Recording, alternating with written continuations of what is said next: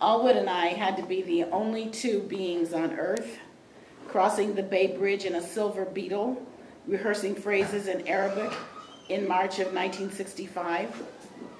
The radio was blaring that two Marine battalions had arrived the day before on China Beach at Da Nang. Malcolm's assassinated February 25th, and LBJ approves troops to go to Nam on February 26th. No coincidence, Allwood said. As we came out of the Treasure Island tunnel onto the San Francisco side of the bridge, I could tell Allwood was pushing his buttocks down into the seat by the way he was gripping the handle on the dashboard. I pushed the four $1 bills that the toll collector had given me into my jeans pocket. We were headed for the Black House in the Fillmore. Allwood, do you think pushing your ass into the seat is going to stop the bridge from swaying? You're driving too fast, Janice, he said, craning his neck to check my speed. He was right. Assalamu alaikum. Allwood said it for the umpteenth time, enunciating every syllable. Wa alaikum assalam, I said, trying unsuccessfully not to say while the Lakums of Salami brother, sister, baloney, most, most high potentate. Allwood shook his head. I'm sorry, I'm sorry. I take it back, I said. I put it all back in my mouth. The San Francisco skyline, the offices full of yellow light and reflected dusk, glittered. Allwood sighed. I drove to Fell Street and went up the hill, practicing and being corrected until we reached Divisadero Street, where I broke. They will not let me in if I don't say this exactly right, kick me into the street if I say it wrong. Who is the boss of Salam and Salaikum anyway? Tell me, it sounds like Abbott and Costello meeting up as sheets on the street. Believe it or not, Allwood said, you're going to like it. We finally parked at Hayes and Broderick. I don't see a black house, I said. It's not painted black, Allwood said, steering me. Behind the wheel of the VW, the gear shift in my palm, I was in charge since Allwood couldn't drive a stick. But outside that cooped up space, I waited for his arm to tell me which was the right house. God, San Francisco was such a thief, a lady of the night, a sorceress with her hands out. Every time, all my years as a child, that we crossed the bridge, we had to pay to get in, pay to get out, pay for every little thing. Oakland was free. San Francisco was not. Pay me, pay me. Pay for the Pacific Ocean and the beach. I am expensive, the city always said, so pay me for my wonderful dark treats like the Steinhart Aquarium with its dark wide hall lit up by tank after tank of bright gold, green, blue sharks, dolphins, whales, stingerfish, cold-eyed, still as a corpse fish that didn't blink or budge when we tapped the thick glass with our fingernails. Pay, the voice said, to whomever took us on Sunday to the Fleishhacker Zoo. Even as I stood in front of the fat lady whose cackling, gap-toothed, 12-foot high, 12 feet high, 3 feet wide body made me laugh for a solid hour, even as I collapsed in tears, driven out of my eyes by laughter. I understood that the other name for San Francisco wasn't Frisco. It was pay you dumb jerks from Oakland. Pay. God, would I ever grow up? Assalamu alaikum, I said as we walked up the balustraded stairway. Wa alaikum salam, he said back and rang the bell. The front door had leaded stained glass windows on each side. I peered through one, and a man with skin the color of a Hershey bar and teeth a stunning white uh, came, came up to the door. Even though I saw him, when he opened the door, he startled me. Allwood gave the Muslim greeting. Wa alaikum salam, Brother Allwood. The man's tone was so deep it rumbled. He took my coat from me. Inside, I saw San Francisco once again in the dense, narrow, vertical interior. I was almost dizzy with expectation. Is this the sister's first time here? He said to Allwood. I couldn't let him not talk to me. Assalamu alaikum, I said proudly, his bushy eyebrows raised. I'm Janice Hightower. I've never been here before. I extended my hand to him. He looked at it and laughed. You niggas from Oakland is quaint. niggas from Oakland? Did he sing that? Did his voice go up on niggas and back down on Oakland? Whatever was coming from his dark neck was like a boat bobbing on an ocean. I couldn't take my eyes from it. This is our fortress against the wolf, he said, leading up the stairs. A hand lettered sign hung between the sconces. In the beginning, all the world was blackness. They changed the quote. I immediately remembered from Western Civ and John Locke. In the beginning, all the world was America. It, it was it was of a piece with the Grove Street orators that I always saw in front of Oakland City College. So smart, so seemingly University of California bound, yet not. So Harvard, yet not. And here I was in this Grand Victorian, transformed by blackness with a capital B. The wolf, I said and felt this quivering knot in my stomach. He laughed so hard I thought I should stop asking questions. Everybody, the system, the world, the city, the garbage in the streets, the past, the present, maybe the future. He raised his coal black eyebrows. Street niggas come up with a lot of existential rhetoric too. Bebo, Allwood addressed him. Your name is Bebo? What a crazy sounding name. Yeah, you want to check my birth certificate? Bebo, what time does it start? Allwood's voice grounded me. The music or the speeches, good brother? The speeches. Speeches for the good brother Allwood right in the Malcolm X door. The brother pointed to a closed door. Allwood squeezed my arm. I watched wordless as Allwood walked in and the door closed behind him. You belong in here. Bebo steered me toward a kitchen where a woman was stirring something that smelled like lamb and garlic in a pan. He disappeared down the hall. He meant to direct me to the kitchen, and I do know about manners, but from the other side of the house, I heard drums, vibrations, thumping, somebody blowing poetry like a saxophonist was inside his throat. I followed the sounds to another house connected by a passageway. I bobbed along, dealing with a ferocious conga beat. That was when I saw dancers. The first thing I noticed was dark, dark sisters, their hair trimmed and moving with their bodies like fitted caps. It was a dark world, and I fit, or so I thought until I looked in the mirror, where their torsos twisted around me like serpents. I looked like a Tarzan native on a Hollywood movie set. I looked wild and untamed, countrified. The dancers had sculpted afros. I had hair all over the place. The dancers had African print draped around them. I had on frayed jeans. The sheer exertion of their bodies pounding, feet stomping, and hands tapping brought up images of my family. The side where light people, the high yellow side, just had to be light. That's all. Be light, and that's all. The women who were light didn't even have to know how to dance. Just be light, which made them pretty. I knew the browner people in the family could be smart as hell, it was never enough. If you were brown, you better know how to do something and do it well. Even then, you didn't get slack. My cousin Clovis had her picture in her paper at work. I could tell she was real proud of it because she made copies and gave them around, but I heard my aunt say, mm, so dark you can hardly see her. I headed for the kitchen. The woman there was slight, with kumquat, smooth, dark skin, an ankle-length skirt draped on her.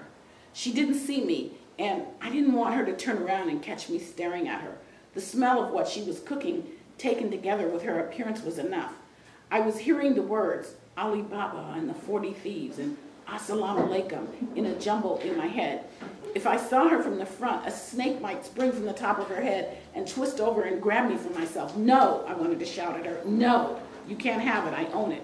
I wanted to take in this blackness, but I didn't want to drown in it. People who were radical and black or part of the resistance to the man and the system had confidence oozing out of them. They seemed to never doubt themselves. I wasn't like that. I turned and walked down the hall to find Allwood, my security blanket. I couldn't find the door. I got stuck in the hall. Where was Allwood who had gotten me into this? I had to go into one of the rooms. What if I walked in on somebody doing it? House parties always had a bedroom upstairs where somebody dumb would happen on somebody not so dumb. but this wasn't a house party. I took a deep breath and opened the door with a poster of Malcolm X on it. Some people think this is paradise, California. We're free. The South is behind us. Jim Crow is behind us. The ocean is our frontier now. We're a part of the wild, wild west. Don't believe it. The speaker's voice was high pitched and familiar. It was Freedman from Oakland City College standing there in that room, a bedroom, a bedroom auditorium. The room had four rows of wooden folding chairs with an aisle about a foot wide, but the room was lopsided because everybody was sitting on one side. The men looked alike, unsmiling with big afros. I was escorted to the empty side. I became aware of my jeans so tight and frayed on the inside of my thigh. You're not a part of paradise. For you, the speaker said. For you, California is paradise with rules, a paradise for fools. And the main rules for Negroes, that is, the unschooled fools who still call themselves Negroes, the main rule is, he broke off there and started laughing. In all those lunch times, I had watched him with the Grove Street orators and taken leaflets for Fair Play for Cuba from him. I had never seen him look jive or relaxed, but he was laughing, a deep, hearty laugh, shaking his entire torso. How could he shake and bellow like that here in this foggy black heart of San Francisco and never have seemed at ease even once in the sunshine and touch me on blue skies of Oakland? Wait! The word hit the room like a thunderclap. I started in my seat. I needed to go to the bathroom, but even more urgently, needed to get his point. I was following him like I'd followed preachers interminable sermons on Sunday afternoon. Only then I waited for the preachers, who as a class my uncle labeled ignorant, to say something ungrammatical or simple so I could dismiss the whole sermon. But the Grove Street orators were different. They were book smart.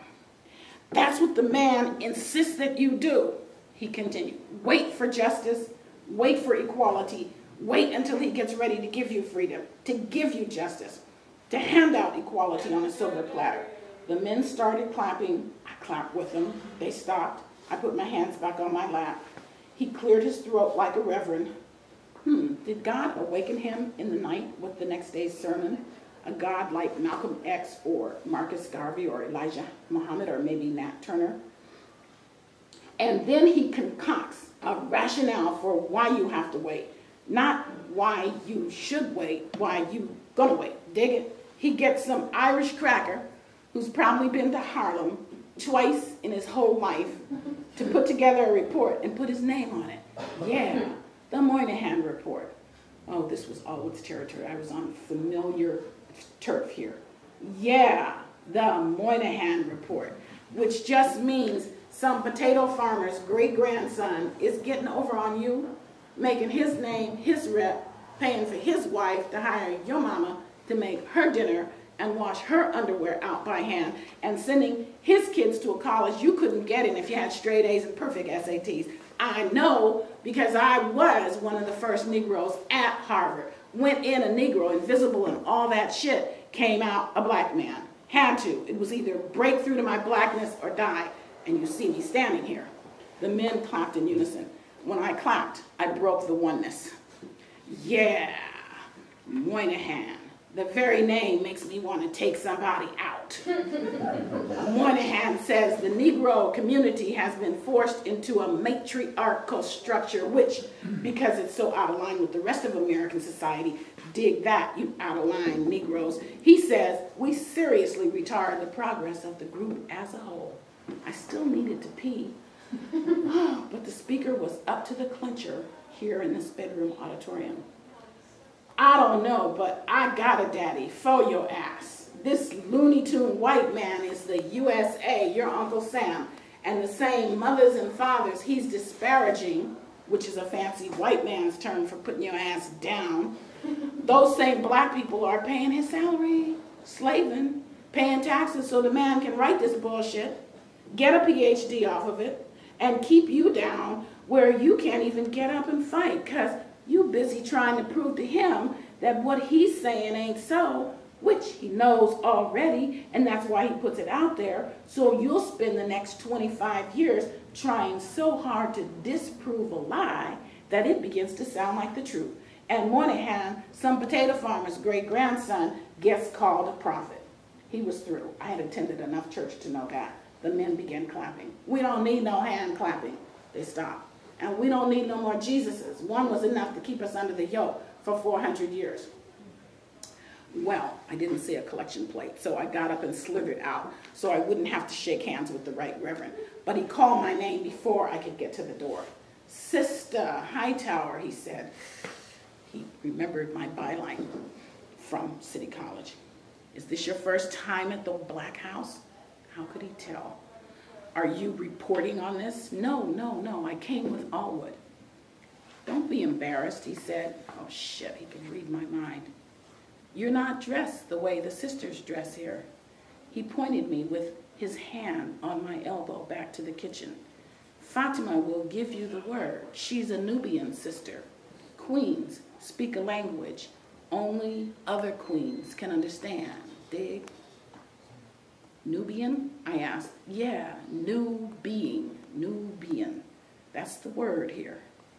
I had no choice, it seemed, but to return. Fatima stood in the kitchen smiling at me as if she had been waiting for me all night. I touched my hair. It felt wiry and woolly. She smiled again. You are a queen. Beautiful, she said. I didn't know what to say. Beautiful? What kind of word was that to be connected with me? I had been called cute and dark, sexy and dark, long-legged and dark. Beautiful? You've never been called that, have you? A queen, she asked her voice soft and rich. Oh, never, I said. Napoleon Nose had been one of my nicknames from the cousins. I had a small waist and pretty feet, my one physically perfect feature.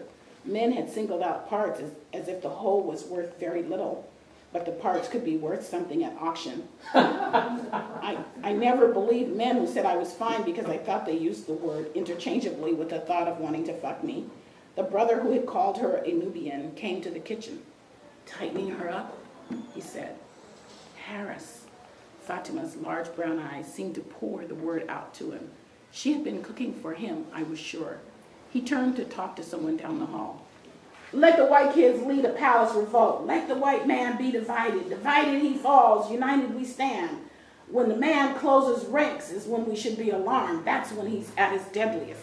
He turned back to me and said to Fatima, Lumumba, Patrice Lumumba, She's got that same steady look in her eyes. She's got a chilling thing going down in her eyes. Yeah. My only frame of reference for anybody's Lumumba was a dark as night boy in high school with very African features. From the South, he wore Big Ben overalls and clunky workman, working man shoes, and kids called him Lumumba. He had a crush on me, and my friends had made fun of me because of it. They had called me Lumumba's wife, which I had hated. When Harris walked away, I felt free to ask Fatima, am I seeing things wrong? Or do I just happen to see a lot of light-skinned brothers in the movement with darker-skinned sisters? She laughed, a tinkly, crystal laugh. You picked up on that, huh? These brothers have an elevated consciousness, and yes, they're trying to prove something. Oh, Allwood is your man, right? I shrugged. She smiled like she knew something I didn't. Harris, Allwood, our light-skinned men in the movement, they feel deeply about us as sisters, as beautiful black women. But is it overcompensation, I asked? Maybe you see it as overcompensation. When you look outwardly, unless you look in a mirror, you can't see yourself. You can't see if you're skinny or fat or white or black. You see the people around you. Whatever they are, that's what you are. When you wake up in the morning, you wake up human, no age, no color, and no sex until your eye hits either a mirror or another person, then it's instant. That's who you are, who you sleep with, who you eat with. So I think these brothers have grown to resent being categorized and put down because of their light skin. They're trying to prove who they are inside so they won't be judged by the outside. I felt a sense of alarm Will they dump the dark skinned sister once they've made their point? she laughed again. Did Malcolm leave Betty? Malcolm X's wife was dark skinned? Fatima got a book from the stack on the table and showed me Betty Shabazz's picture. Brother Malcolm's overcompensation benefited us all. he became as powerful as we are.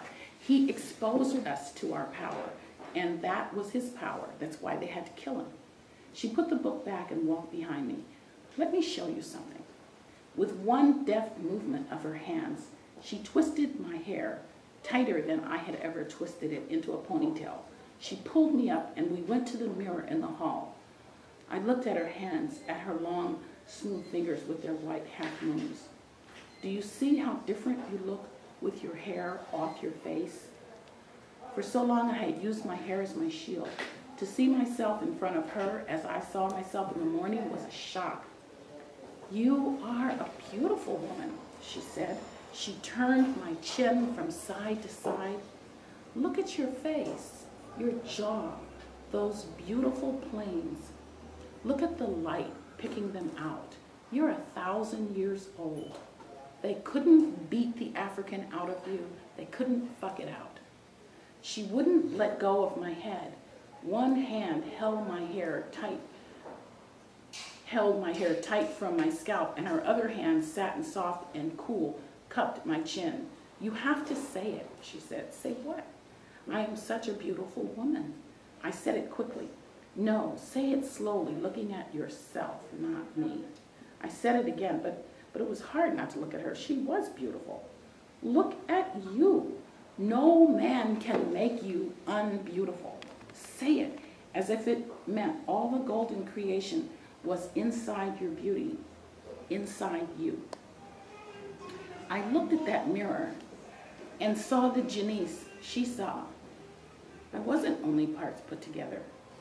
She let go of my hair. It went back all over the place. But it didn't matter. I was not my hair or my pretty feet that no one ever saw first, or any other part, not even my mind. I was a whole new being that this woman had shown me. Bebo came sauntering down the hall and grabbed my arm, pulling me away. Fatima smiled and watched as we walked away. He wasn't so overpowering. He wasn't overcompensating either. We went to another part of the house, but he kept pouring poetic shit into my ear. Elvis ripped off Big Mama Thornton, the hound dog. Jughead was an agent provocateur for the FBI. Millie the model had silicone implants, we didn't want to hear it. Yeah, true romance tears stop where the real ones start. Ike was a colored man. Dinah Shore is a fugitive from the Negro race. Sammy Davis Jr. got that empty eye socket from the mob. Little Lotta's fat comes from the diethylstilbestrol and all those hamburgers she stuffed down a fat white gut. Even if we heard it, it would have gone in one ear and out the other. Archie and Veronica freaked on a daddy's bed. You gotta use your imagination. Otherwise, you'll just be thinking some guy's peeing inside you. Richie Rich made his money from black sugar workers in rural Cuba. Louie Louie was a flasher. Nkrumah has led Ghana into the future fabulous. He walked toward Allwood, who was waiting with his coat on. And Allwood looked strange, as if I had gone away and we were connecting after a long absence. Are you ready? Allwood asked, one hand on the door. When we got outside, the cold night air fell right on the spots where Fatima had held my chin. Yeah, finally, I said. The next day, I went to the barber shop and had my hair cut into a natural. Sleek, short, very African.